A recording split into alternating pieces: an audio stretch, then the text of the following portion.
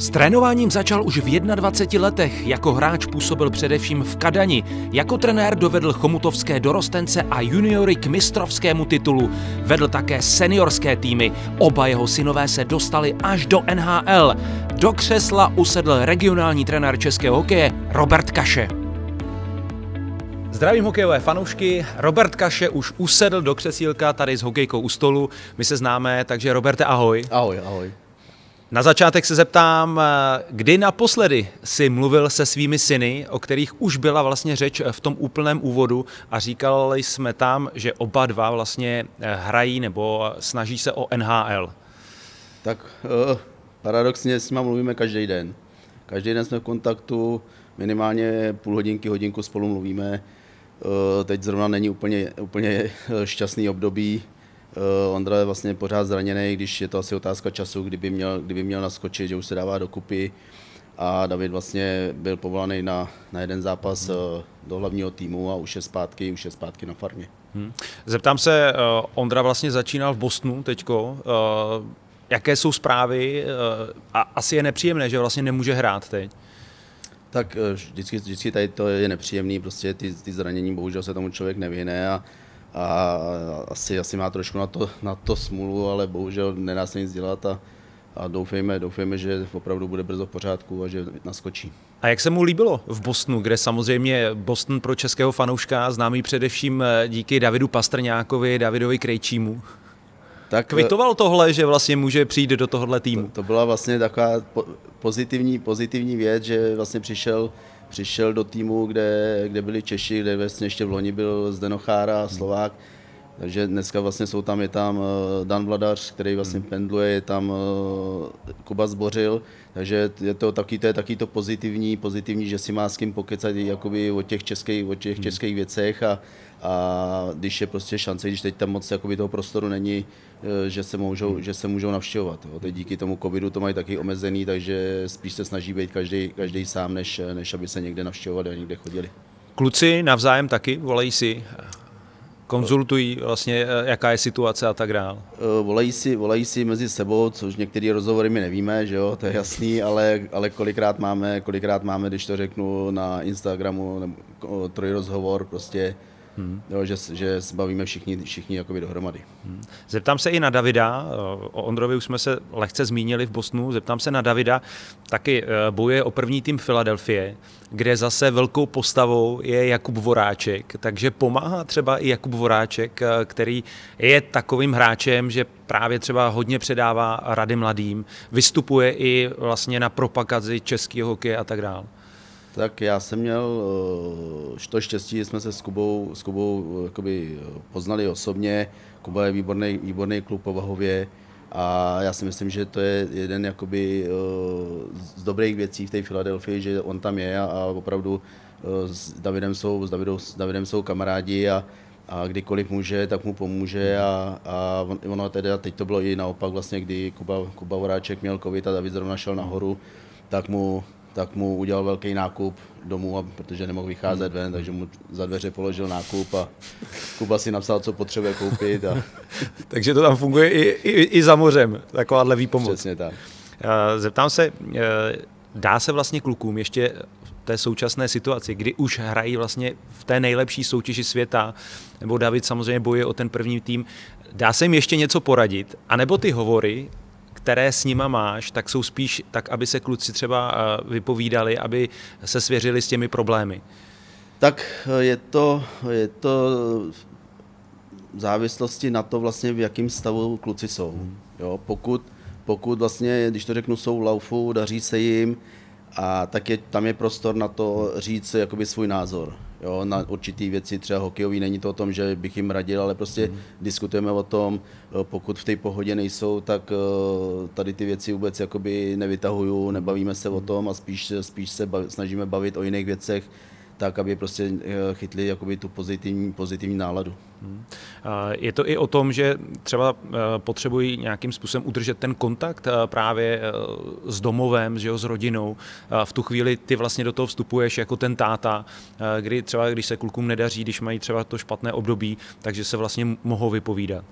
Jo, tak já si myslím, že teď spíš, teď spíš plníme funkci vrby, hmm Jo, že opravdu uh, jsme asi jediný, komu vlastně buď si kluci povídají mezi hmm. sebou, ale zase, zase nechtějí, aby si přenášeli tu negativní atmosféru třeba mezi sebou, tak, tak uh, kolikrát je to, občas je to nepříjemný, Jo, není, není kolikrát na to, co odpovědět, spíš opravdu to potom převést do toho pozitivního, když vlastně si potřebují vylejt to srdíčko a co se jim nelíbí, ale, ale prostě od toho jsme tady a myslím si, že tohle je funkce, funkce rodičů, ať je to v tom dětském věku nebo v tom dospělém.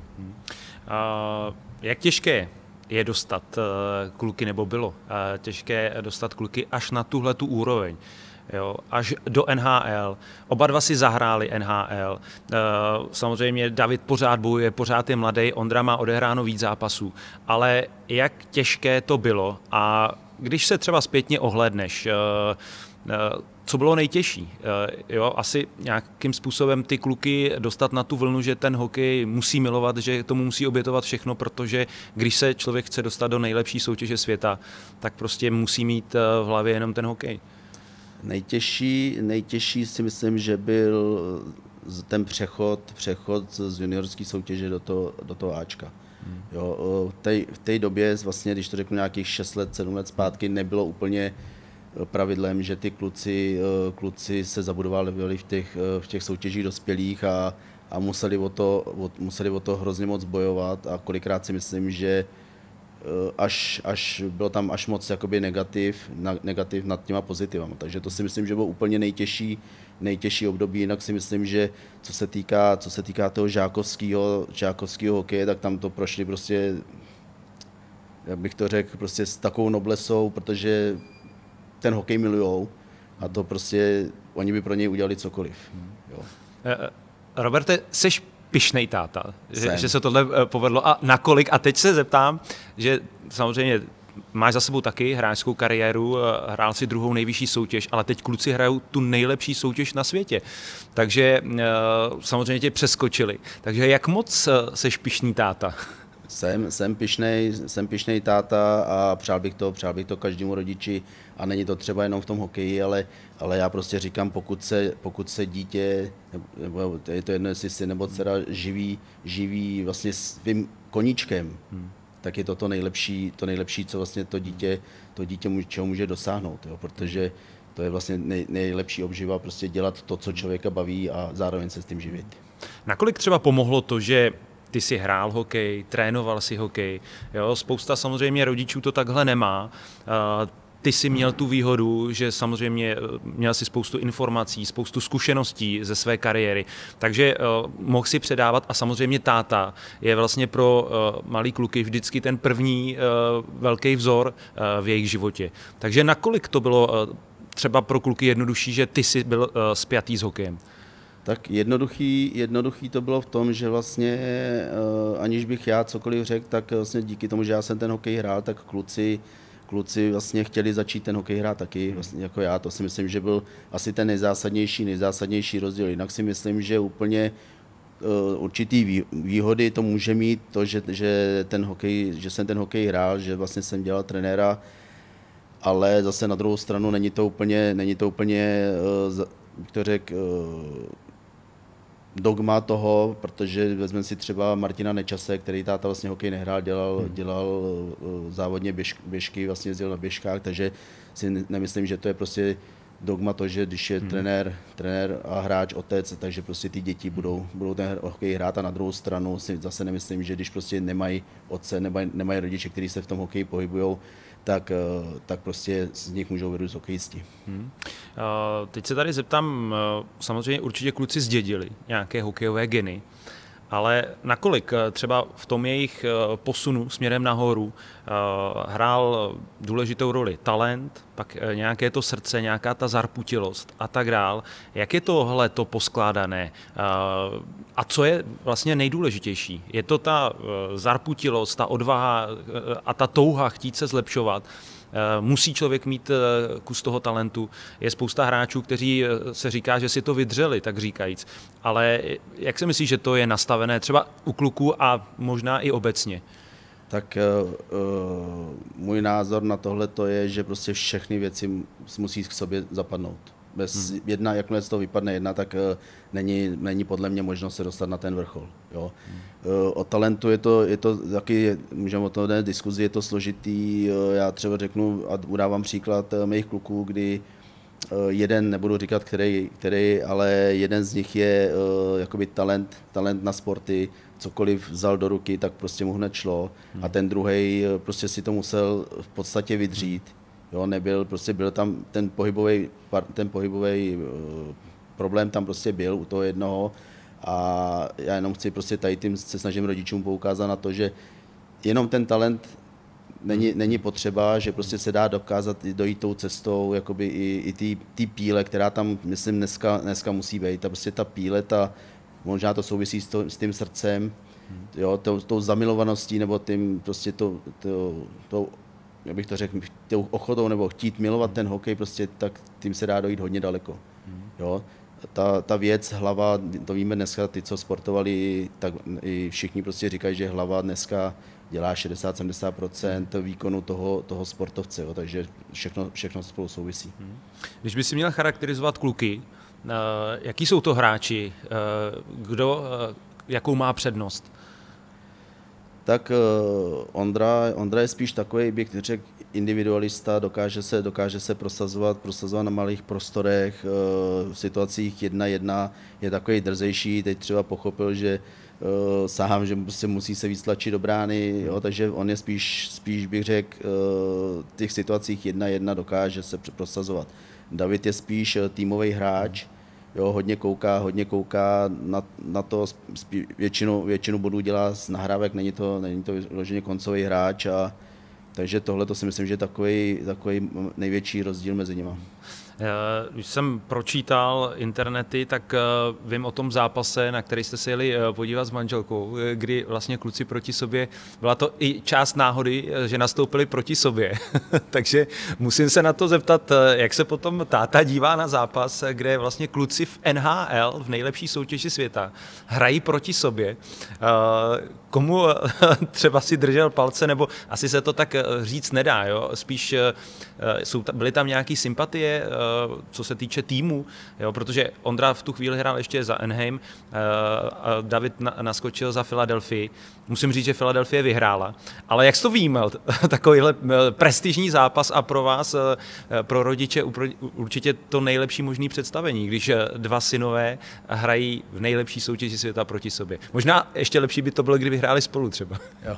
Ne, tak byl to, byl to neskutečný zážitek. Jo. Začnu asi, začnu asi od konce, tam, tam tuhle tu chvíli nefandíš nikomu, hmm. prostě tam fandíš svým, svým klukům, jo. Přeješ si, aby ten udělal body, aby ten dal nějaký gol, jo, i ten, i ten druhý, takže prostě v tu chvíli nefandíš nikomu, ale, ale opravdu se soustředíš na ty své kluky a, a říkám, je to, je to zážitek, přál bych to, přál bych to každému, prostě, aby tohle to si zažil, zažil, jo. A předcházelo tomu to, že prostě jsme mohli mít, eh, nebo jsme měli mít po sedmi letech eh, společný Vánoce tím, v Americe, tím, že vlastně Ondra hra v tu dobu hráli před Vánocema na tom eh, východním pobřeží, takže jsme se naplánovali, že, že ty Vánoce uděláme u Davida, u Davida jakoby v Allentownu. No a když jsme vlastně odjížděli, tak ho povali, tak ho povali nahoru, takže jsme to měli trošku složitější, protože jsme měli domluvený, co se týká auta a uh, odvozu z letiště, tady ty věci, takže to jsme taky vyřešili ale říkám prostě, bylo to, bylo to nádherný. Přál bych to opravdu každému tohleto, tohleto zažít. A máš třeba představu nebo touhu, nebo chtěl by si, aby se kluci třeba jednou sešli v jednom týmu? Tak přál, moc, moc krát si spolu nezahráli, ani v Teď myslím ani samozřejmě mládeži, na, na té nejvyšší úrovni. Ani v té mládeži, ale přál bych si, přál bych si třeba vidět někdy v reprezentaci, anebo hmm. i se potkat někde v klubovém, v klubovém týmu. Je to, asi by to byl zážitek taky velký. A ještě se zeptám, eh, kdy vlastně třeba i v rodině jste začali uvažovat o tom, že kluci fakt eh, na to mají, dotáhnout to až do nejlepší soutěže světa a nějakým způsobem během eh, té jejich kariéry připravoval si je na to, že půjdou hrát do zahraničí. To znamená, já nevím, tlačil si i do toho, aby se věnovali jazyku a tak dále, jo, protože samozřejmě adaptace potom, když se jde někam. A, a teď Ondra šel rovnou do zámoří, že jo, David to vzal přes Švédsko, takže se nějakou dobu určitě vždycky museli osamostatnit, museli si zvyknout na to prostředí.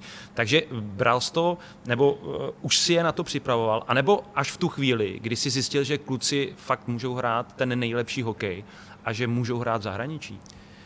Tak uh, my jsme, já se jako řeknu za sebe, vůbec jakoby jsme nikam, nikam netlačil. Vůbec jsem ty kluky nikam netlačil, naopak jsem se snažil žít s nima ten jejich, uh, ten jejich sen.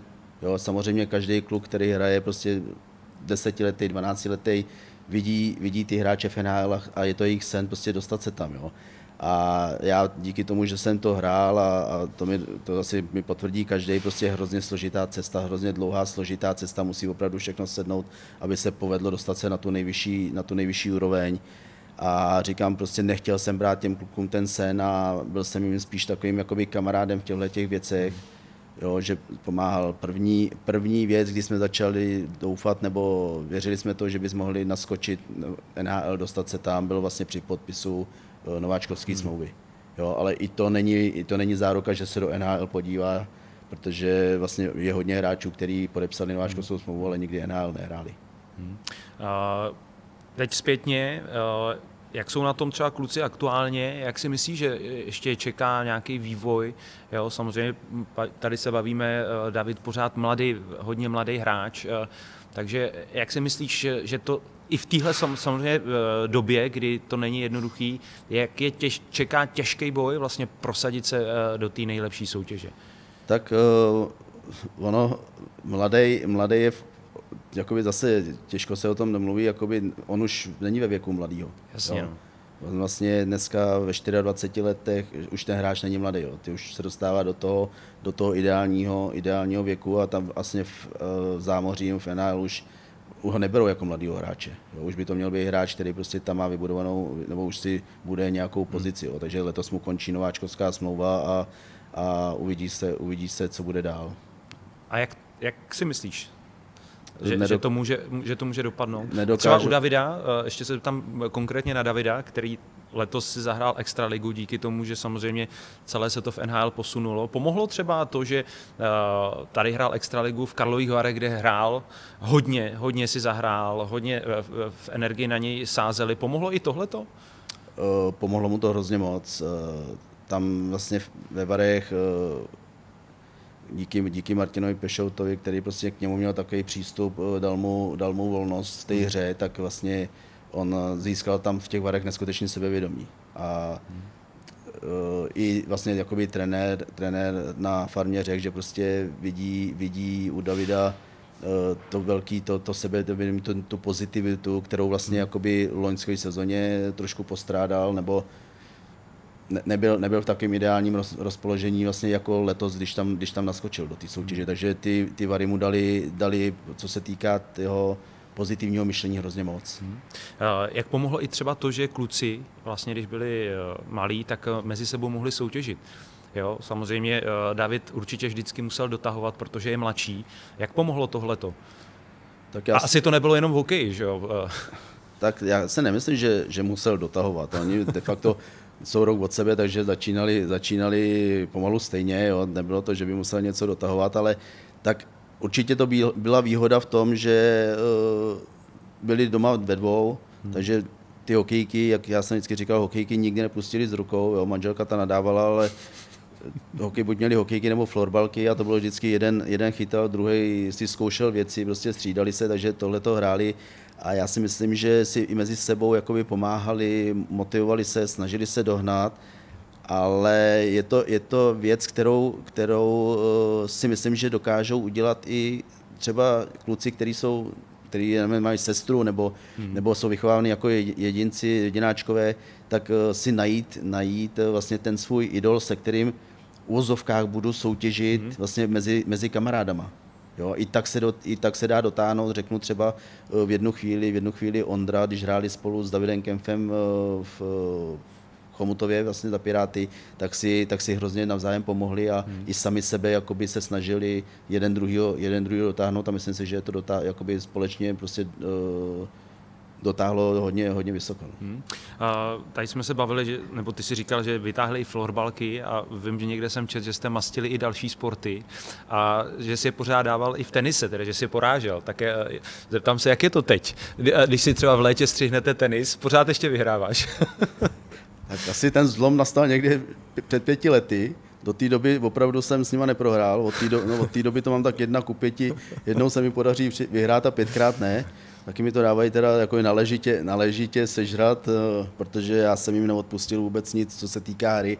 Manželka kolikrát říkala, prostě nechej něco vyhrát, já říkám ne, všechno si musí zasloužit, takže byl člověče nezlob se, tak to byly slzičky a všechno, prostě a taková ta, taková ta radost. A já si myslím, že tohle to prostě byl takový ten základ, vytvořit v nich eh, tu, tu soutěživost, tu hla, ten, ten hlad potom prostě něco dostáhnout, do, dosáhnout, být lepší prostě než ten druhý, hmm. jo, a takovou tu vůli, vůli jít prostě za tím svým cílem. Hmm. Teď jsme to teda nakousli, že jste hráli tenis, eh, florbal. Zeptám se na to, protože eh, samozřejmě ty působíš i v roli regionálního trenéra českého hokeje.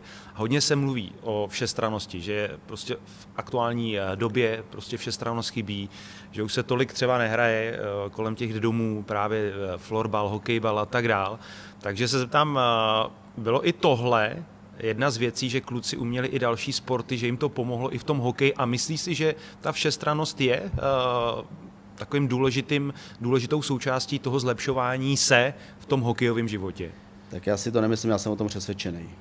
Jo, uh, to je, možná budou někteří, ně, ně, někteří nějaký... Někdo totiž, ano, někdo totiž říká, že eh, jako to není úplně jako nutnost, ta všestrannost. Ale na druhou stranu, když se podíváme zpátky, podíváme se na ty naše úspěšné hráče, tak eh, já třeba hodně dobře znám eh, Martina Procházku, dokonce jsem s ním spolupracoval a ten říkal, že jak mastili tenis, fotbal a že to byli vynikající fotbalisti. Jo. Eh, takže všichni tyhle ta generace, eh, o kterých říkáme, že je zlatá, tak ty kluci byli fakt hodně všestranný. Jo, jo, to je právě ten, to je právě ten argument vůči těmhle těm lidem, Prostě dřív eh, jsme dělali, dělali dva, tři sporty. Já si pamatuju, já jsem vyrůstal v Plzni a my jsme v žákách, vlastně tam, kde jsme bydleli v té oblasti v Plzni, tak za ten, za ten eh, tým většina těch kluků z té třídy hokejovky, tak vlastně jsme hráli fotbal. Hmm. Jo chodili, hráli jsme tenis, umíme, umíme hrát tenis a já třeba řeknu tamhle Martin Straka, který, za kterým jsem vyrůstal, tak eh, v dorostu ho chtěli do Viktorky na, do, na fotbal. Hmm. Jo, on prostě by byl vynikající hokejista, chtěli ho, byl vynikající fotbalista, prostě chtěli ho. My jsme hráli, my jsme hráli dřív basket prostě proti basket za, za školu, jo, proti basketbalovým týmům. Hráli jsme pravidelně fotbal, fotbalový turnaje. A tohle to prostě si myslím, že, že, dneska nám, že dneska nám chybí. Jo, kluci, kluci dneska prostě umí opravdu z těch základních sportů, umí, umí všechno, umí, umí beach, prostě zahrajou si, zahrajou si basket, každý, každý rok hrajou turnaj eh, v hokejbale, hmm. každý rok eh, hrajou turnaj ve fotbale, když přijedou vlastně s těma kamarádama, prostě z těch věcí se pořád účastňují, hrajou tenis, jo, zahrajeme si badminton, který prostě já chodím hrát, zahrajeme si, zahrajeme si squash a hmm. tyhle ty věci prostě si myslím, že, nebo jsem o tom přesvědčený, že prostě těm klukům hrozně moc pomůžou. Jo, a je to, je to, tom, je to jedno, jestli, jestli to je individuální sport nebo, nebo týmový, protože v tom týmovém člověk potřebuje naučí se tam orientaci, naučí se rychle reagovat, naučí se sám myslet. Jo, a jsou to, jsou to sporty, které třeba řeknu, nemusí dělat organizovaně. A naopak ty, ta spontánní věc tady těch sportů je naučí prostě přemýšlet nad tím, vymýšlet si svoje vlastní věci. A tyhle ty všechny týmové sporty vlastně se dají přenést do toho hokeje. A tam si myslím, že, že byla výhoda, výhoda nebo ten jeden z těch základů vlastně tam, kde kluci jsou. Jo, prostě zkoušeli, zkoušeli si věci, které viděli a zkoušeli to prostě doma, zkoušeli to na fotbale, jo, zkoušeli si to za barákem, byli denně, denně byli dvě, tři, čtyři hodiny za barákem. Jo, a bohužel, bohužel já dneska řeknu takový, já vím, že to je dneska složitější z důvodu toho, že vlastně kluci ještě jsou možná tak eh, jedna ta poslední generace, nebo vyrůstali ve sportovní třídě. Jo, tím pádem vlastně my jsme měli trošičku, neříkám, že úplně, ale trošičku bylo upravený, upravený vyučování a byla možnost, byla možnost vlastně, že odpoledne třeba, když jsme měli trénink eh, ráno před školou, ne úplně brzo, třeba ještě kluci od 9 do školy, jo, takže to se dalo, to se dalo, tak odpoledne měli volno. A to odpoledne oni trávili prostě venku za brákem. A to dneska, dneska vlastně, dneska ty děti nemají, jo. Prostě jdou, každý chodí do jiné do jiný školy, takže trénink trénuje se všechno odpoledne a pak ten prostor, pak už tam ten prostor tolik není na to, aby dělali, aby dělali jiný sporty. Jo. Ale, ale zase všechno, všechno se dá, protože kluci vlastně, když jsme skončili trénink na, na, na, na ledě, tak, zůst, tak prostě chtěli zůstat ještě za zimákem, tam byl plác, asfaltový plác a tam měli brány a hráli a prostě dvě, tři hodiny, dvě, tři hodiny prostě třeba dokázali mydlit ještě za tím barákem po tom tréninku. Jo. A my jsme měli prostě udělané, nebo měli jsme domluvené takové, taký pravidlo, že prostě v 7 hodin, 7 hodin všechny sport končí a, a začíná škola, jakoby večer, takže si dělali úkoly a, a kluci, aby i o tu půl hodinu si to mohli protáhnout, tak si úkoly chodili a měli úkoly zapsané ze školy. Jo, takže prostě oni, oni prostě to vyžadovali, chtěli tam být a tím, že to prostě milovali a, a tak to je další, další jakoby ten krok nebo ten důvod toho, tam, kde oni dneska jsou. Co podle tebe s tím? Jo. Co ty, jako třeba když mluvíš s ostatními trenéry eh, z dalších klubů a tak dál, tak eh, co s tím? Protože samozřejmě někdo nemá tuhle tu možnost. Někdo třeba, eh, ty děti nejsou v hlavě tak nastavený, že prostě si, si chtějí přidávat a tak dál, že, že chtějí dělat další věci. Teď samozřejmě se školou je to hodně složité. Já si pamatuju, když jsem byl vlastně malý, tak i vlastně na tělocviku, že jsme se těšili, kdy nám jenom eh, tělocvikář hodí takhle balón a řekne kluci, dneska si zahrajte fotbal. A my jsme byli schopni se rozdělit a hned se hrálo všich, eh, a zapojili se všichni. Eh, nepamatuju si, že by někdo nechtěl hrát fotbal jo, na tělocviku, jo, protože samozřejmě občas se tam dělala i gymnastika, atletika, ale když nám trenér hodil ten balón, tak jsme se byli schopni rozdělit, pravidla se udělal a hrálo se. A co teď s tím, protože dokážu si představit, a co mám třeba zprávy od svých dětí, tak samozřejmě takhle to v těch školách už dnes nefunguje. A i tam vlastně děti ztrácí tu všestranost. Teď eh, na těch plátcích kolem těch domů se hraje minimálně. A co teď s tím? Jo, eh, říká se, že vlastně, eh, když přijdou malí hokejisté vlastně poprvé na let, takže chybí ta všestranost. Takže jak to dohánět? Dá se to vůbec tohle dohnat? Tak dá se, dá se to dohnat. Eh, je to, je to práce pro trenéry navíc. Dřív ty děti opravdu byly pohybově nadaný, pohybově rozhejbaný a bylo to jednodušší s nimi pracovat. Dneska, dneska pokud chceme, pokud chceme tyhle ty děti takhle mít připravený, tak eh, do toho musíme vložit daleko víc úsilí a bohužel daleko víc času. Jo? A já říkám, že dneska... A i, a i nějaké přípravy, i nějakého vzdělání, ne? Protože dřív prostě ten t- trenér hokejový vlastně mohl trénovat jenom na ledě. Dneska to musí vzít i přes gymnastiku, přes uh, další třeba míčové sporty a tak dále. Jo, jo, jasný, ale jako říkám, tam je potřeba, potřeba dneska, aby jsme se opravdu dost, někam dokázali pohnout, tak je potřeba, aby jsme ty děti prostě uh, s nima chodili ven. Hmm. A my dneska to neučíme jenom ty děti, ale my to, my to učíme skoro i ty rodiče. Hmm. Protože ty rodiče, mně to přijde, že prostě jakoby to neznají taky. Jo. A dneska ty trenéři opravdu uh, musíme, musíme, když to řeknu, hodinu být na ledě a jít s nima hodinu za ten zimák nebo někam na nějaký hřiště a prostě tohle to je naučit. My musíme naučit, naučit si hrát. Pro nás to bylo samozřejmost, že jo? My jsme tamhle byli za brákem, přišel si tam jakoby mladý kluk, hráli tam o tři, o čtyři, o pět let starší kluci a čekali jsme, kolikrát jsme čekali, jestli někdo nevypadne, jestli to, když zjistili, že ten, že ten fotbal, hokej umíš, tak najednou si se tam zařadil a už si byl jedním z nich a prostě byla tam nějaká hierarchie, která prostě byla, my jsme se učili od těch starších kluků, jak se rozhazují hokejky, jak se dělají manšafty, tady ty věci a tohle to ty děti dneska neznají.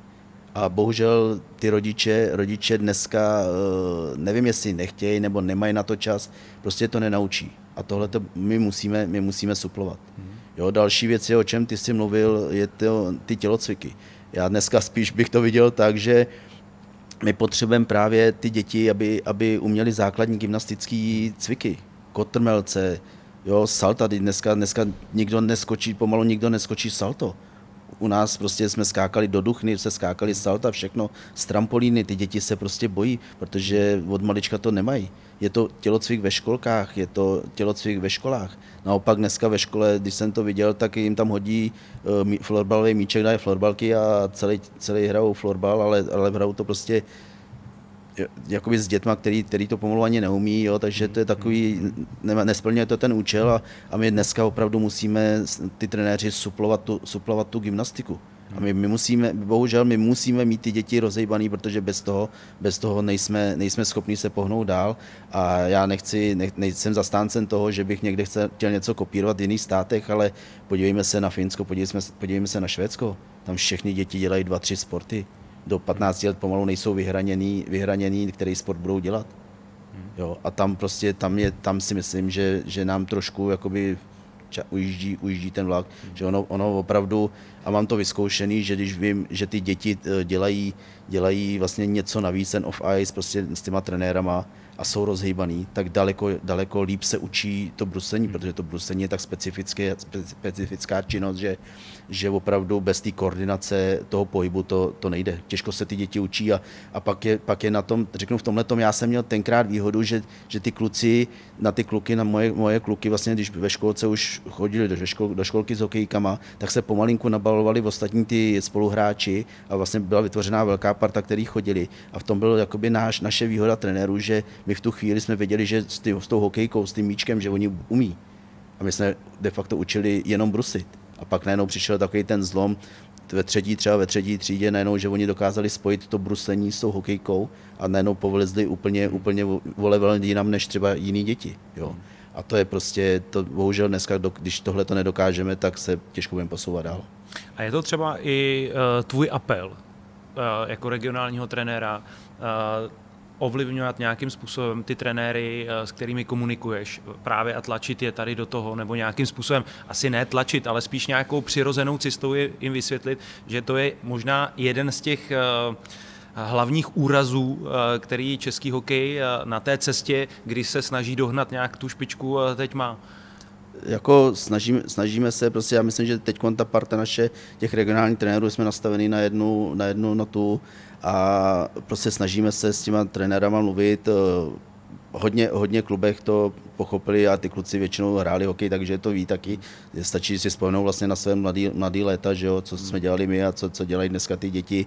Takže takže prostě jakoby snažíme se s těma trenérama mluvit, říkám, někde to, někde to chápou, někde to je opravdu, opravdu složitý, protože zimák je opravdu zimák, kde není pomalu ani parkoviště a, a ten prostor tam není a musí se scházet třeba někde jinde. Jo, další věc je, že ten jeden trenér eh, netrénuje třeba jenom jednu kategorii, což by měl jednodušší, že by třeba s nima byl hodinu na ledě a pak s nima šel hodinu ven, ale že pak třeba má další kategorii, tak už je to složitější a musí do toho buď zapracovat, eh, asi nejideálnějším eh, je zapracovat do toho rodiče. Jo.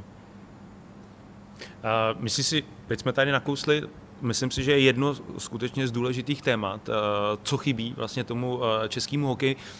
Co si myslíš dál? Proč vlastně ztrácíme? Teď tohle byla jedna věc, teď se hodně hovoří o tom, že bude redukce soutěží, e, žákovský soutěže se změní, změní se e, juniorky, dorost a tak dál. E, co si myslíš, že je další kámen úrazu v tom, v tom rozvoji těch českých hráčů? A vlastně už to trošku nakousnul na začátku, když jsem se tě ptal na kluky, co bylo nejtěžší. A ty jsi tam zmiňoval přechod z té juniorky do toho seniorského hokeje.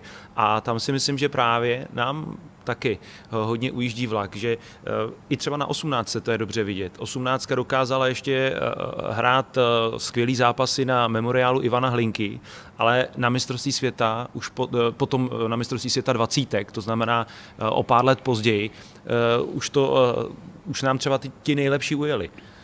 Eh, je to, je to vlastně, i když si myslím, že oproti, vlastně když byli kluci v tom věku, tak se to, tak se to zvedlo. Ty mladí kluci dneska se zabudovávají daleko víc do těch, do těch uh, týmů. Uh, paradoxem je, že když to řeknu, Extraliga versus první liga, tak je to možná 50 na 50, že mají stejně zabudovaných mladých hráčů, přitom si myslím, že první liga by tam měla mít daleko větší počty. Hmm Jo, ale, ale prostě už, už, je to, už se to posouvá daleko, uh, daleko jakoby si myslím dopředu v tomhle tom, že i ty, i ty, prostě ty kluby, ty majitele prostě, že uh, zjistili, že prostě ty mladí kluci umí hrát. Jo. Samozřejmě druhá věc je ta, že uh, být mladý není zásluha. Hmm. Jo, jako si někteří dneska myslí, že prostě jsem mladý, tak já, já tam prostě musím jít, že opravdu musí ukázat nějakou uh, nějakou cílevědomost, prostě to, že, to, že prostě si to chce vybojovat a ne, ne jak dneska, to je ten největší problém, který si dneska myslím, že je, že ty kluci dostávají hodně věcí zadarmo, nemusí, nemusí o to tolik bojovat, nebo někteří nemusí skoro vůbec o nic bojovat, hmm. mají všechno na zlatém podnose a pak přijdou, já jsem tady v juniorce a já, já, já teď mám jít do Ačka, já prostě jdu do Ačka, jo. A prostě tak to, tak to není a, a je to zase individuální a měli by poznat prostě, jestli ten klub opravdu je takový cílevědomý a prostě zaslouží si tu, tu šanci tam dát. Jo. Říkám, dneska se to zlepšilo. Oproti tomu, když byli kluci v tom věku, tak dneska se to, dneska se to zlepšilo. Jsou kluby, kde opravdu to mydlí, mydlí na mladý, ať je to třeba, řeknu, z finančního hlediska, a nebo prostě tak, že mají nastavený, nastavený vlastně takový ten systém v tom klubu. A jak se to měli doma? jak si třeba uh, kluky chválil, potažmo kritizoval, jak jste to měli třeba nastavený? jak? A do, do, dostal, jo, protože samozřejmě dokážu si představit, že hovory doma byly hlavně o hokeji. Byli, byli o hokeji, ale, ale uh, já to je dneska takový věc, kterou prostě bych chtěl, aby ty rodiče, třeba který, který nikdy nedělali sport nebo který uh, nedělali ten hokej, tak je ten tak, takový poznatek, nebo eh, kdy to dítě je vůbec zamilovaný do toho sportu. Hmm. A je to v ten moment, kdy to dítě přijde z tréninku, přijde ze zápasu a samo začne o tom mluvit. Hmm. Hmm. A to je potom jakoby ten impuls toho rodiče, ano, on to miluje. Hmm. Jo, dítě, který přijde domů a nechce se vůbec o tom bavit, tak do toho není zapálený a prostě ta láska k tomu není. A pak je, pak je jakoby věc se zeptat, jestli jsem ho tam donutil já chodit, že to chci já jako rodič, anebo jestli to chce to dítě. Jo, takže to je takový prvotní impuls pro ty rodiče, jestli, jestli jakoby to dítě samo o tom mluví. Mm. A my jsme, když to řeknu, my jsme se bavili o hokeji, bavili jsme se, ale, ale prostě kluci tím, jak to milovali, tak prostě jsme se bavili z jejich z jejich iniciativy o tom. Jasně. Jo? Samozřejmě, eh, Neměli to se mnou jednoduchý, vůbec netvrdím, eh, byl jsem na ně, nebo já prostě vyžaduju uh, u všeho. Mě, mě jde o to, stal se třeba uh, při té výchově kluků, stal se ti třeba moment, že se jim nechtělo na trénink? Že třeba uh, si je musel uh, trochu postrčit? Tak tohle to Aby to nebylo uh, jako samozřejmě úplně ideální, jo? Že, že fakt jako tam chodili sami od sebe, ale byl, byl třeba nějaký takovýhle moment? Takovýhle moment my jsme nezažili.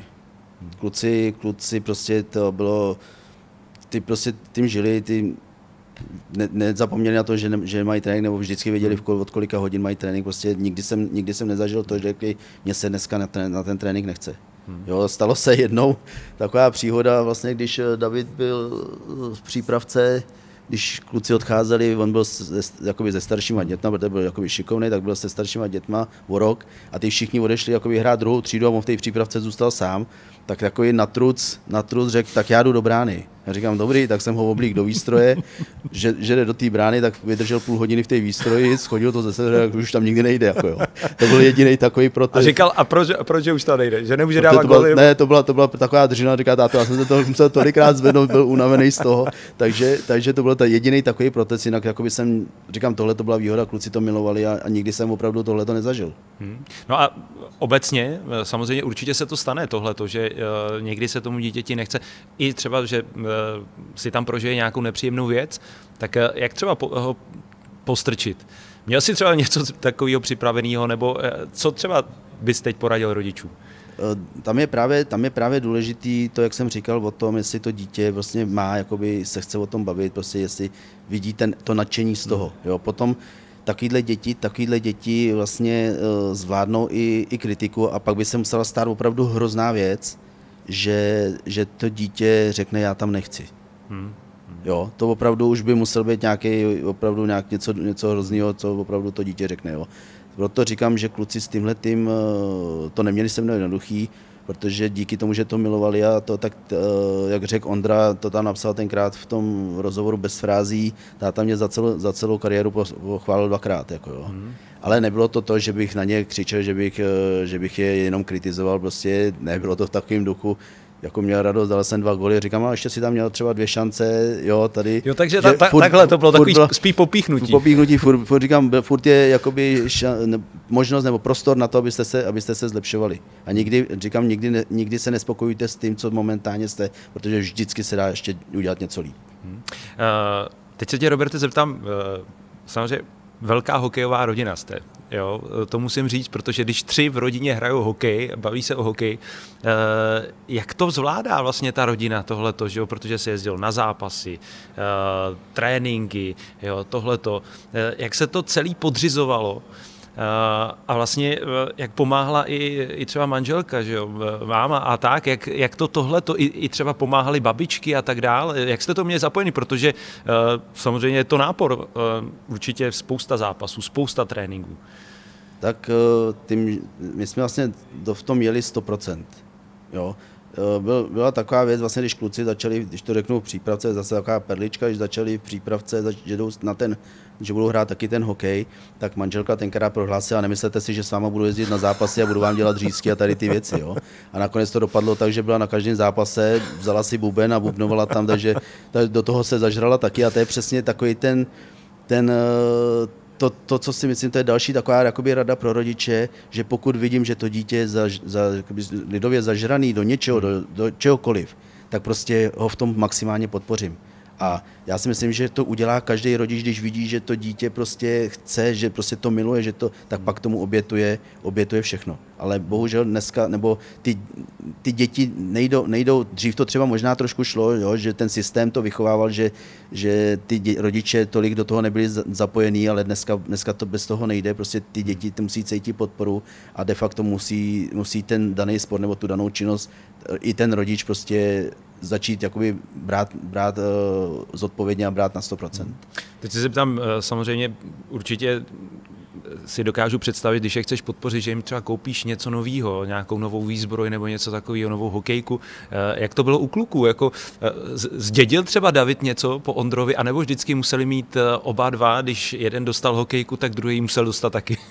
tak uh, u nás to bylo, u nás to bylo nastavené tak, že uh, vždycky, když měli narozeniny nebo na Vánoce, tak vždycky babička s dědečkem, babičky s dědečkové nevěděli, co koupit, tak řekli, tak ten potřebuje náloketníky, tak dali peníze na náloketníky. A kluci prostě z toho měli radost. Tím, že to prostě milovali, měli z toho radost. A uh, já jsem když vlastně byli v tom žákovském věku, ne úplně malí, a v tom žákovském věku, tak prostě jsem říkal, kluci, když uvidím u vás, že prostě máte snahu, že prostě to chcete dělat, že to děláte naplno, tak eh, vám budu kupovat nové věci. Hmm.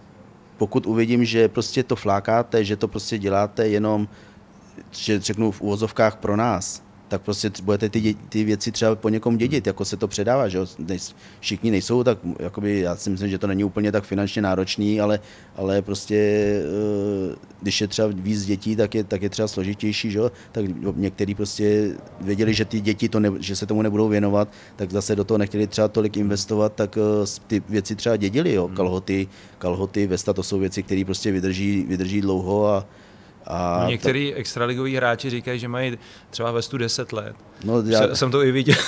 Já, to, je, to, je, to, je, další věc. Já když vidím kluku, kluku vesty výstroje, v jakým to mají stavu, říkám, tě, to asi v takovém, jako jsem to měl já vždycky. Teda, jako já jsem čím víc to bylo vymačkaný, tím lepší, ale, ale prostě dneska, dneska ty děti nesou nastavený na to, že prostě nebo některý, neříkám, že všechny, ale někteří jsou prostě nastavený, že musí mít všechno nejlepší, že prostě musí mít furt něco nového. A, a ono ten opak je pravdou, že prostě ty nové věci, než se vymačkají, tak ono to chvíli taky trvá, je to spíš nepříjemný, než, než příjemný. Jo. Takže, takže kluci dneska taky, když se na to člověk dneska by se položil tu výstroj, tak eh, neřekne, že to je výstroj hráče NHL, jo, kdyby neměli na těch kalhotech eh, logo, logo toho klubu. No a pomáhá třeba i tohleto, že eh, na začátku protože určitě taky seš u těch náborových akcí pojď hrát hokej. Pomáhá i to, že vlastně rodič fakt na začátku nemusí, dá se říct, nic investovat všechno dostane od klubu a pak samozřejmě může jít tou formou, eh, že si něco vezme eh, od klubu nebo eh, po někom samozřejmě, anebo samozřejmě, když vidí, že to dítě má zápal, tak je samozřejmě radost mu udělat radost nějakou novou věcí. Dneska, jak to tady, jak to tady řekl, dneska ty kluby dostávají od svazu výstroje, který vlastně ty děti využijou do nějaké třetí třídy. Hmm. Jo? A není to tak, že by ve třetí třídě vzali celou výstroj a odevzdali ji, hmm. ale je to, je to prostě nastavený tím, že třeba ve druhé třídě, kde ten rodič koupí koupí vestu nebo koupí rukavice a tyhle, ty, tyhle ty odevzdá. Jo. Takže to není eh, náklad eh, finanční najednou, ale prostě je to postupný. Jo. A tím, že, tím, že vlastně kromě, kromě bruslí, když to řeknu, kromě bruslí, který by se měli kupovat každé, každou sezonu, protože by měl mít nějak určitou velikost nebo měli by dobře padnout, tak eh, tak, ten, tak vlastně tu výstroj nemusí člověk kupovat každý, každý rok novou. Jo? Takže, a i si myslím, že není, není ta, ta cena té výstroje není taková, že by se to prostě nedalo normální průměrný člověk i jo, že by prostě by to zahltilo nebo finančně prostě ne, ta rodina neunesla. Jo. Já si hmm. myslím, že ten, tenhle ten mýtus, který občas eh, vyšel, vyšel v novinách, eh, není pravdivý, protože tam se vždycky udávaly maximální ceny výstroje a už řeknu třeba seniorský, jo, hmm. a ta, ty částky se pohybují úplně někde jinde. No a teď se zeptám přímo jako na tělo, eh, kdyby si měl spočítat vlastně, kolik to stálo vlastně dostat ty kluky až vlastně na tu nejvyšší úroveň. A teď samozřejmě ono je to takový jako eh, dvousečný, jo, protože ty si říkal, že pokud uh, oni hráli dobře, tak si jim prostě slíbil, že jim koupíš něco nového, i když asi uh, by nebyla ta nutnost. No, protože se taky hodně mluví o tom, že uh, rodiče si třeba stěžují, já taky čtu samozřejmě komentáře, že musí zaplatit tenhle ten kemp, že musí zaplatit dvakrát za rok kemp, že musí zaplatit tady toho trenéra, tady toho trenéra a tak dál. Uh, Jezdili i třeba kluci na nějaký speciální tréninky, na něco, co eh, ještě doháněli a tak dál? Já to řeknu, my jsme, my jsme vlastně eh, vkládali peníze jenom, jenom do příspěvků, hmm. Do výstroje, a nebo vlastně, když eh, my jsme se snažili, vlastně v klubu jsme to měli nastavený, takže po sezóně jsme se snažili udělat pro ty kluky hmm. zahraniční zájezd. Jo, a byl to většinou spojený, spojený částečně s hokejem, ale spíš jsme chtěli, protože některý kluci by se tam třeba do těch států v životě, v životě nedostali, takže my jsme prostě procestovali, procestovali celou Evropu a uh, vždycky se to řeklo na začátku sezony, ale bude to stát tolik, tolik peněz, jo, maximální částka. Samozřejmě se pak sehnali sponzorsky a bylo to rozdělené tak, že uh, jsme třeba měli dva kluky, který, který by si to nemohli dovolit a ty z té sponzorské částky, kterou hmm. tak třeba dostali polovinu, bylo zaplacený a nikdo neřekl ani popel. Všichni byli šťastní, že ty děti někam jedou, že se dostali, prostě byly to pro ně zážitky, trajekty u moře, prostě, jo, takže eh, horské dráhy, jo, to bogány, prostě to, říkám, tohle to takhle jsme to měli nastavený, takže my jsme, my jsme vkládali, já to řeknu, peníze jenom do, jenom vlastně do výstroje příspěvku, jo, ty příspěvky dneska Eh, Praha asi bude trošku v tomhle specifická, ale já to řeknu, třeba někde se platí 6 tisíc v žákách, budeme se bavit o žákách, někde se platí třeba 6 tisíc roční příspěvky. Jo když si to člověk potom to rozpočítá. Platím, to platím taky, protože eh, syn taky chodí na hokej a taky platím 6,5 tisíce eh, za rok. Jo, takže když si to potom člověk rozpočítá, rozpočítá, že kdyby měl chodit, řeknu třeba do tělocvičny na nějaký hmm. kroužek a měl si platit ten kroužek zvlášť, tak ho to vyjde daleko dráž hmm. než tahle ta částka. Jo. Takže říkám, to není, nejsou, nejsou, nejsou asi úplně taký velký hmm. částky, které by prostě ty rodiče nemohli dát. A jak jsem řekl, že prostě, když vidíte, že to dítě to má rádo, že to miluje, hmm. tak prostě ten rodiče, ten rodič se prostě obětuje, je to, je to částečně oběť. Jo. Není to jenom finanční, ale je to, ča, je to hodně i časová oběť, prostě eh, se věnovat hmm. společně s tím dítětem tomu sportu. Eh, jak už jsem zmínil, ty děláš eh, i regionálního trenéra českého hokeje. Vlastně co všechno máš na starosti? Jak objíždíš a jaký kluby máš na starosti? Tak já mám na, na starosti vlastně severozápad, Karlovarské ústecký kraj, což je teď 18 klubů. Eh, naši, my vlastně do těch klubů jezdíme formou jakoby konzultantů. Jo. Dřív to, když jsme začali jezdit, tak si říkali, ale už nás zase přijel kontrolovat, ale tak to vůbec není. My tam, my tam přijedeme vlastně na ten, jezdíme na tréninky, na zápasy, jedeme se podívat, buď se domluvíme s trenérama, že jdeme, že jdeme s nimi na ten let, buď, buď ten trénink vedeme, nebo jsme tam v roli asistenta, nebo prostě přijedeme a jenom, jenom ten trénink sledujeme, eh, sledujeme vlastně z hlediště, potom si s tím trenérem sedneme a řekne a baví bavíme se, bavíme se o tom věci. Já nechci, já nemám rád to, že prostě nějaký nařizování, protože mm, asi asi nikdo tohle, jakoby, když někdo někomu něco nařídí, tak zrovna na mě to, já to dělat nebudu. Že? Spíš bych chtěl, prostě, aby, jsme, aby to vycházelo z toho, že se spolu bavíme a že ten trenér prostě si z toho něco vezme. Jo? Já prostě rád, rád diskutuju a tak jako já si beru z věci různý od, jin, od jiných lidí, tak prostě tady to předpokládám, že ten trenér se nad tím zamyslí a prostě řekne, jo, ona si v tomhle to má pravdu. Jo, takže to není formou, tady to děláte špatně, tady ale prostě chce se o tom s těma trenérama bavit a není to o tom, že my řekneme, bude se dělat takovýhle trénink. Ne, ten trenér má nějakou filozofii, jo, a má, jede, nikdo neříká, že je špatná, že je dobrá, ale prostě chci vědět, proč, jakoby bavíme se o tom, proč, proč tohle, to, proč, jo, protože já třeba ten trénink vidím, my to máme nastavený, že vidíme jeden, jeden trénink v kategorii v klubu, jo. Když přejdeme do toho klubu, vidíme tři, čtyři tréninky, takže většinou všechny ty kategorie, ale vidíme to jednou za měsíc. Jo, takže, takže pak se bavím s tím trenérem, ale proč si to třeba udělat tohleto cvičení a on mi řekne proč a já říkám jo, v pohodě, hmm. jenom jsem chtěl vědět, samozřejmě má to nějaký důvod. Jo. Další věc, další věc je vlastně, my jsme na pomoci hlavně u těch menších klubů, co se týká eh, dotací, dotací z měst, jo. protože některé kluby jsou na tom tak, že sice dostávají dotace z města, ale eh, větší část jim zpátky vrátí za pronájem ledu, za pronájem eh, celého vlastně zimního stadionu, jo. což si ne, pak já říkám, to nejsou dotace, ale to tento město žije vlastně z, z peněz rodičů. Hmm. Jo, že prostě dotace je to, že, že ten klub je z toho města v plusových číslech. Hmm. Jo, takže pak máme taky jednání, jednání vlastně eh, na městech se starostama, Jo, je to i jinde, že třeba někde začínají let až od září, že chceme, jestli by nebyla možnost, hmm. možnost začít od srpna, že prostě je tam možnost toho eh, ten let prodat, jo, že to není jenom, jenom investovat, ale že prostě se dá na tom ledě i, i vydělat, že prostě takhle některé kluby fungují. Jo, takže, takže prostě je to i další jednání, pak je to, pak děláme děláme semináře eh, s pomocí klubů, děláme semináře pro rodiče, děláme semináře pro trenéry, protože každý trenér musí splnit určitý počet kreditů, aby se mu obnovila licence, takže děláme ty eh, semináře pro trenéry. Pomáháme při licencích C a B, trenérských licencí, vlastně, kde přednášíme a Čkaři a Bčkaři vlastně u nás dělají potom závěreční praktické zkoušky takže to je, to je další, další taková věc. Uh, asi, asi v tom teď, se, teď se zeptám, uh, ty jsi říkal, kolik máš vlastně nebo objíždíš klubů. Jednou si tady prohlásil, tady uh, citu, máme hodně kvalitních trenérů, kteří na sobě chtějí pracovat. Kolegové z Kanady mi říkali, že třeba žákům se věnujeme víc než oni. Uh, podle mě taky někdy moc drillujeme na úkor samotné hry. Uh, platí to pořád? A myslíš si, že skutečně máme dostatek kvalitních uh, trenérů a že třeba v těch žácích druhujeme víc než třeba uh, v té Kanadě?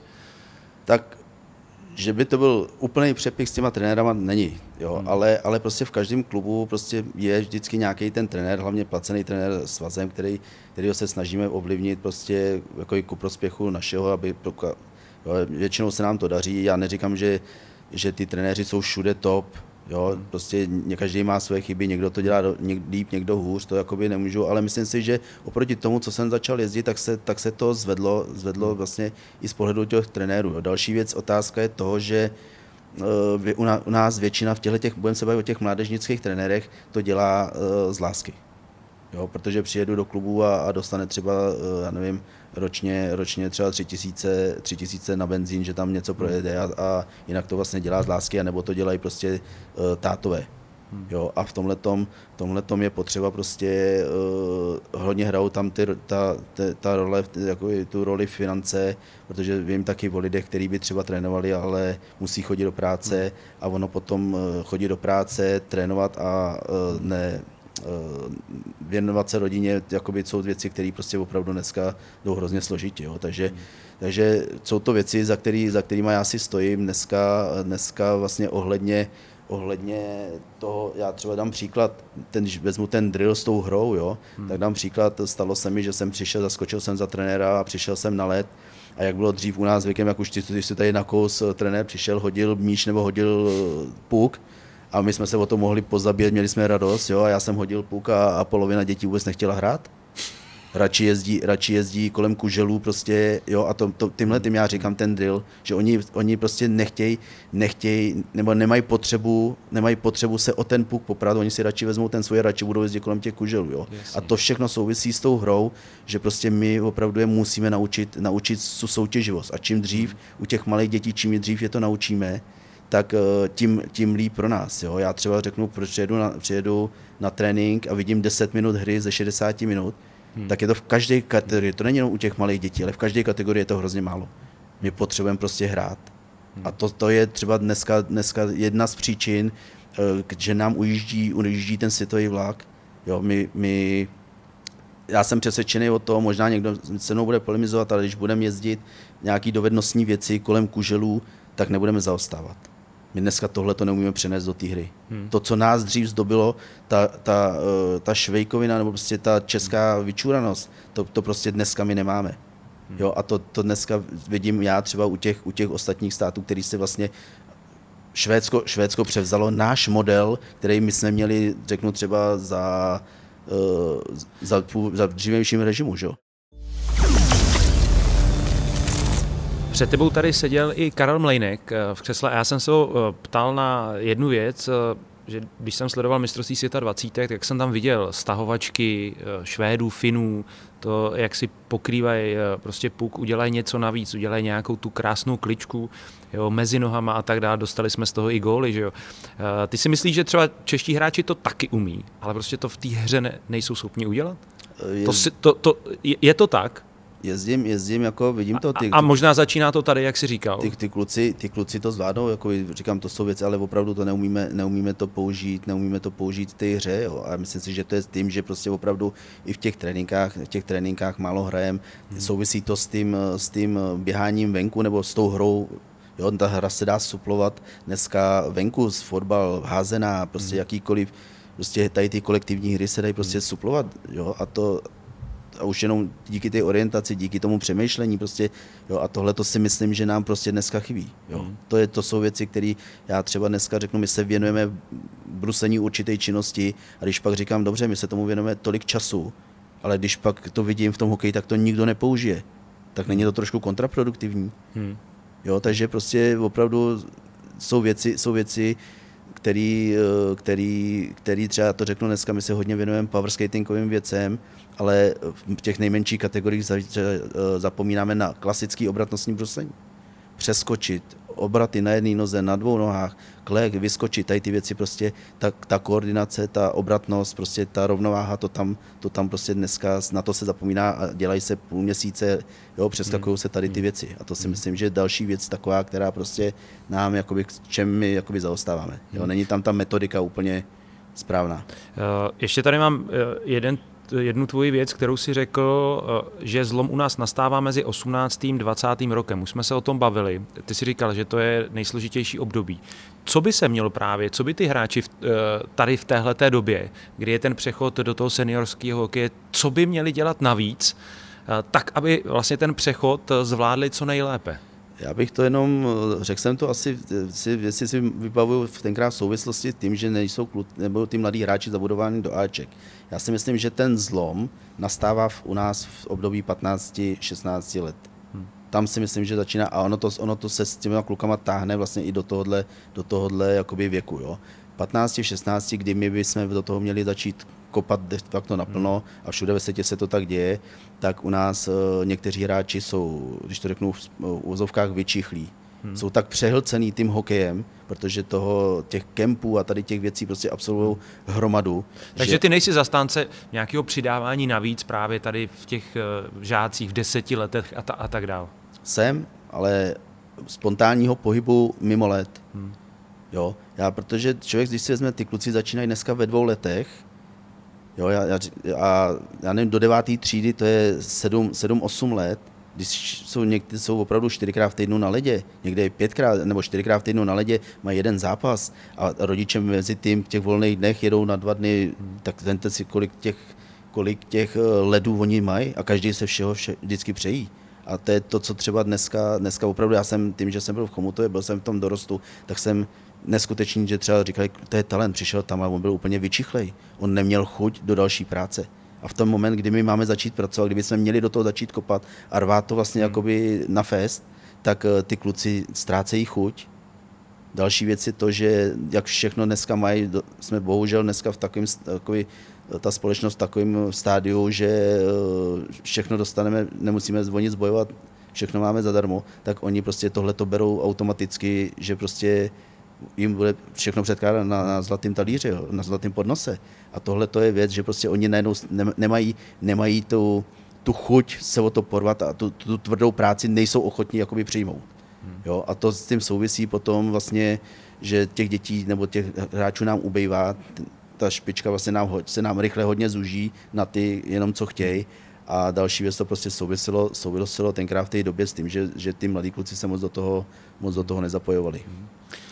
Teď uh, blížíme se k závěru, takže se zeptám, uh, už to také bylo zmíněno na, na začátku, že si trénoval jak uh, mládež, a máš titul mistrovský s dorostenci, s juniorkou v Komutově.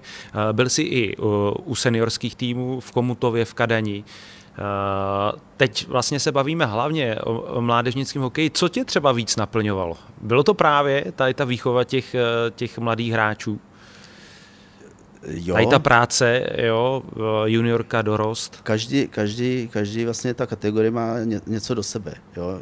Člověk si to musí prostě uvědomit, ty děti, ty třeba ty nejmenší kategorie jsou takový jakoby spontánní děti, prostě otevřený, jo, tak hmm. to je takový krásný, kolikrát s těma, dět, těma dětma pracovat, tak když si člověk dokáže, nebo ten trenér si dokáže upoutat je, umotat kolem hmm. prstu, tak oni mu, oni prostě jdou za ním, prostě a je to pro ně Bůh, jo. Takže to je taky, to je jedna taky z věcí. Říkám, zažil jsem krásný, krásný časy, vlastně, když jsem byl v dorostu, v juniorce, eh, prostě rád, jsou to momenty, na které hrozně rád vzpomínám a ty negativní věci vlastně, nebo ty posílám, nebo na ty člověk zapomene, že jo, tak prostě vzpomínám a říkám, nemám vyhraněný, že bych dneska eh, na něco vzpomínal víc nebo míň, ale, ale prostě spíš, spíš vzpomínám pozitivně tady na ty věci, tady na ty věci, jo. Hmm. No a co říkáš, eh, jak to dopadlo vlastně v Komutově, eh, který vlastně bojoval o eh, extraligové tituly, že jo, hrálo se tam hodně vysoko v tabulce v extralize, teď vlastně bez, bez extraligy, bez druhé nejvyšší soutěže. A co říkáš samozřejmě i Kadani, protože jste z Kadaně a Kadaň několik let po sobě vlastně na chvostu tabulky druhé nejvyšší soutěže, která má dneska vlastně 18 týmů. Takže není ti trochu líto tady při pohledu na to, když se podíváš tady na ty, dá se říct, tradiční hokejové bašty? Je, je mi to líto, bohužel dneska tu roli hrajou peníze. Že? Ty peníze v tom vlastně uh, tom kraji dneska nejsou. Jo? A v té oblasti dřív, dřív se dostávaly peníze, nebo ty dostávali ze šachty, z elektrárny, dneska to všechno patří pod Čes.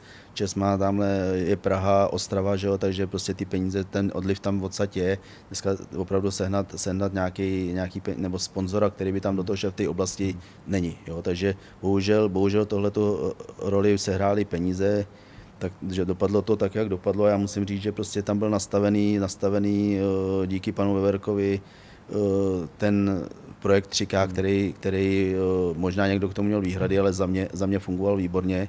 Už jenom z toho pohledu, že kluci vlastně kadaň, kadaňský, klášterecký nemuseli jezdit nikam daleko, jezdili kousek 15-20 eh, minut autem a, a všechno, všechno vlastně bylo zařízené tak, že kluci Nemusí, tak komu to byl vlastně jeden z prvních, který měl vlastně tu svoji farmu, že jo, kadaňskou. Jo, jo, a, bylo, a to, bylo v, i v, to bylo v Ačku, jo, ale jak fungovalo třeba ta mládež, že uh, rodiče, rodiče do toho nebyli tolik, nemuseli být tolik zapojení, protože uh, byl, jezdil tranzit, který převážel vzal v klášterci kluky v Kadani, odvez je ty, co hráli v Chomutově do Chomutova, mezi tím sebral kluky chomutovský, který se nevešli do toho hmm. dorosteneckého kádru, tak je vez do Kadeně nebo do klášterce a prostě rodiče, rodiče nemuseli jezdit, vlastně nebylo to pro ně jakoby ani časově, ani finanční náročnost žádná a ty kluci to měli rádi a prostě podstoupili to a jeli 15, že po Praze, když tady budu bydlet, na tak pojedu díl než, hmm. než 15-20 minut. Takže tohle to byl projekt, který opravdu fungoval a já třeba řeknu ten dorostenecký titul jsme si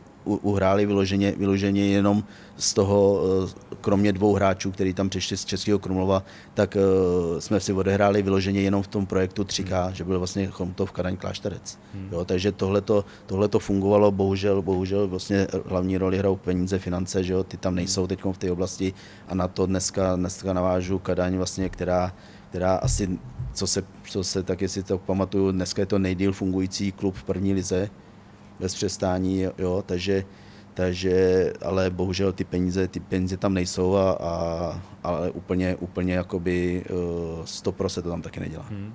A kde si myslíš třeba z těch klubů, ty jsi tuším jmenoval 17 klubů, že objíždíš, kde si myslíš třeba, že uh, to dělají velmi dobře a teď nemusí to být samozřejmě úplně na té nejvyšší úrovni, ale právě třeba co se týče těch dětí kde máš třeba radost z toho, kde uh, jsou zapálený, eh, kluci tam třeba mají podmínky uh, perfektní? tak mě se, já nechci jmenovat, nechci někoho urazit vůbec, ale řeknu třeba za sebe, za sebe mě se líbí, mě se líbí Děčín, jak k tomu přistupuje celkově. Je, mají to nastavený, snaží se pro ty kluky sportovní třídy, snaží se pro ty kluky, kluky dělat uh, cokoliv, že mají to udělané tak, tak jak vlastně čím vyrůstali kluci, že já nevím, ty menší kategorie třeba ve 12 hodin skončí ve škole a na tom, na tom zimáku je trenér a trénink mají třeba o dvou hodin, tak se naobědvají a je tam hodina volno na tom ledě, tak prostě na ten led můžou, jdou tam. Hmm. Jo, a to je prostě to je plus, který jo. Mají tam, mají tam výborný zázemí, prostě udělali tam tělocvičny, udělali tam různý, různý prolezačky, hmm. udělali tam e, sektor pro brankáře, Jo, takže prostě je vidět, že, že chtějí a hlavně to je třeba jeden z těch klubů, když jsem se přijel podívat na letní přípravu, tak byli tak byli, e, řeknu, v 50 dětech, měli dvě, dvě tři kategorie 50 dětech v tělocvičně a všechny děti byly vytížený, prostě bylo tam s nima 7-8 hmm. trenérů a prostě a bylo vidět, že ty děti umí udělat kotrmelce, hmm. jo, že na to, ani na to nepotřebují prostě nějaký velký, velký prostor na to, aby, jo, a každý měli stanoviště, dělali tam a, a, pak je vidět, pak je vidět na tom ledě, na tom ledě prostě, že tu, tu pohybovou, tu pohybovou zdatnost oni tam mají. Hmm. Tak třeba do budoucna z Děčína vyroste nějaký dobrý český hokejista i pro NHL. Poslední věc, tvoje rada pro rodiče a samozřejmě i pro hráče, abychom to uzavřeli eh, do té jejich kariéry, do toho, do nějaké té jejich podpory. Co by si eh, chtěl říct třeba na závěr a poradit rodičům i hráčům? Tak, jak říkám, důležitý, důležitý vlastně je to si ten sport zamilovat, oddat, v uvozovkách oddat se tomu. Jo, je to z pohledu hráčů, z pohledu, z pohledu rodičů. Už jsem to tady řekl, prostě bez těch rodičů to nejde. Dneska trenéři, trenéři všechno sami nezvládnou. Jo, důležitá, je, důležitá je prostě i, když to řeknu, výchova, výchova těch dětí tak, aby prostě neměli, neměli nic zadarmo, aby opravdu si museli určitý věci, věci zasloužit. Jo, eh, určitě, určitě z toho, že vlastně dneska se tím hokejem může živit 1-2% z těch dětí věnovat se škole. Jo, stoprocentně prostě dneska nemůže nikdo říct, že prostě bude ten, ten hokej hrát a, a opravdu škola, škola je základ a, a záleží, je to další věc vychovat z těch dětí prostě nějaký eh, lidi, lidi pro naši společnost. Jo. A uh, prostě přál bych, přál bych všem, prostě, uh, aby, aby, se jim, aby se jim dařilo, aby vlastně ty děti ty si naplňovali, naplňovali svoje sny a pro mě důležitý, pro mě důležitý, protože jsem to zažil já jako, jako dítě, že jsem měl dětství, zažil, chtěl jsem, aby to zažili moji kluci a, a dneska, když se kluků zeptám, nebo Ondra to tam napsal, že oni to dětství měli, oni to dětství zažili a prostě to je dneska důležitý, že ty děti jsou opravdu děti a některý z nich chtějí dělat dospělí, chtějí někam hnát hmm. úplně do, do, do extrémů a to dětství jim v podstatě vezmou. Hmm. A pak přichází vlastně ten, ten těch 15, 16, ty děti přichází do puberty a, a zjišťují, že existují jiné věci a tam ztrácí potom zájem o ten sport. Takže určitě zachovat, zachovat to dětství a brát všechno, brát všechno jakoby v rozumný, v rozumný míře. Roberte, děkuji za parádní povídání. Děkuji, že jsi dorazil. Vám samozřejmě děkuji za pozornost no a za dalších 14 dní s hokejkou u stolu zase na shledanou. Já taky děkuji za pozvání. A příště bude řeč hlavně o maskovaných mužích. Do síně Slávy totiž přijde bývalý golman Sparty, Slávě nebo Kladna, šéf trenéru brankářů českého hokeje Radek Todt. Nenechte si to ujít v dalším podcastu s hokejkou u stolu.